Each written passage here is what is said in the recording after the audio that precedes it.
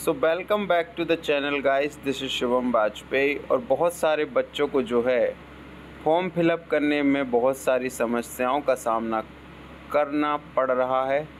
हम आज आपको इस वीडियो के माध्यम से बताएँगे कि हम उस समस्या का निराकरण कैसे कर सकते हैं। तो आपको गूगल क्रोम पर जाना है।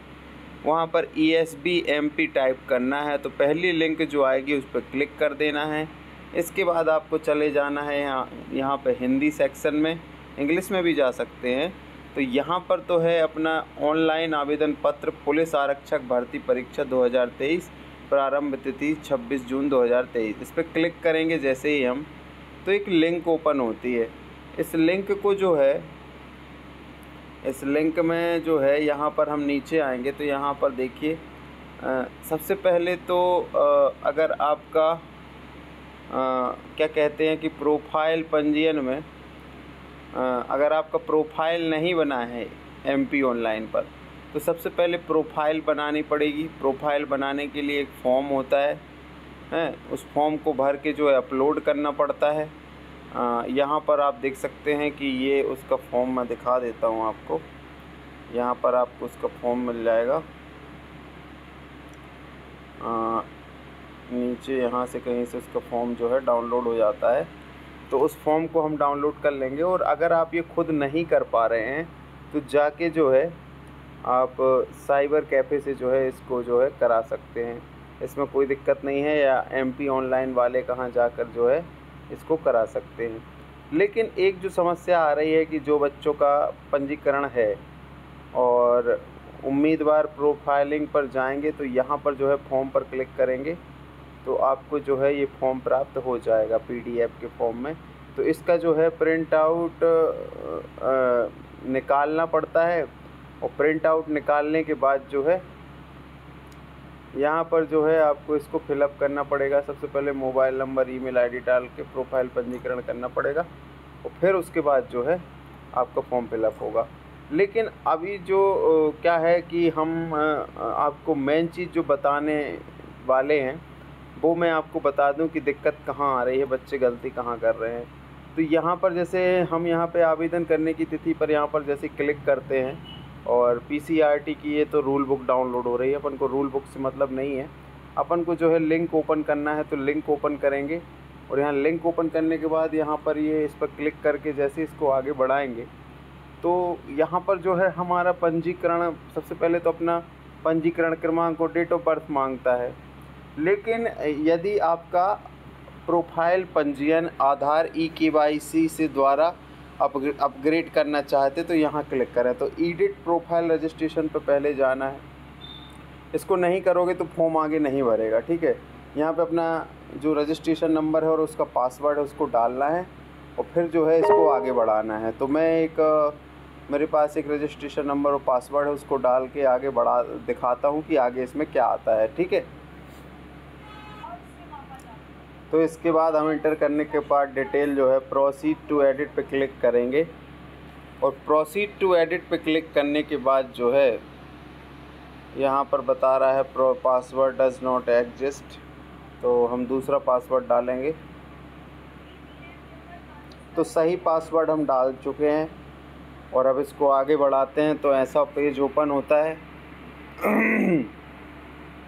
सॉरी ऐसा पेज ओपन होने के बाद जो है, यहाँ पर देखिएगा, ये चीज़ जो है मैं बताने वाला हूँ।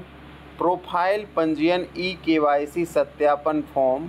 क्या आप अपनी प्रोफ़ाइल को ई के वाई सी के द्वारा सत्यापित करना चाहते हैं अथवा अपनी प्रोफ़ाइल की ई के वाई सी फ़ील्ड में संशोधन करना चाहते हैं?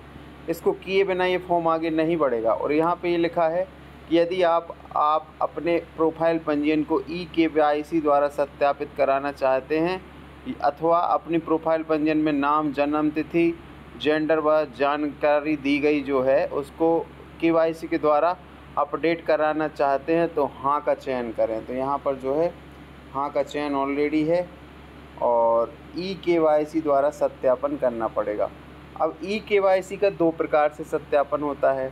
एक होता है E K Y C O T P द्वारा सत्यापन और दूसरा होता है ई के वाई सी बायोमेट्रिक द्वारा सत्यापन। तो कई बच्चे जैसे इस पर क्लिक कर रहे हैं ई के वाई सी द्वारा सत्यापन पे मतलब ओ टी पी द्वारा सत्यापन पे तो ओ टी पी नहीं आ रही है। तो ओ टी पी अगर नहीं आ रही है तो नीचे उसके लिए आवश्यक सूचना दी गई है कि ई के वाई सी सत्यापन द्वारा व्यक्तिगत विवरण प्राप्त करने के लिए आधार क्रमांक होना आवश्यक है। और जैसे ही आधार नंबर डाल के अपन क्लिक करेंगे तो फिर ओटीपी आती है। जैसे हम इसमें ये चयन कर लेते हैं ओटीपी वाला ऑप्शन और इसको आगे बढ़ा देंगे।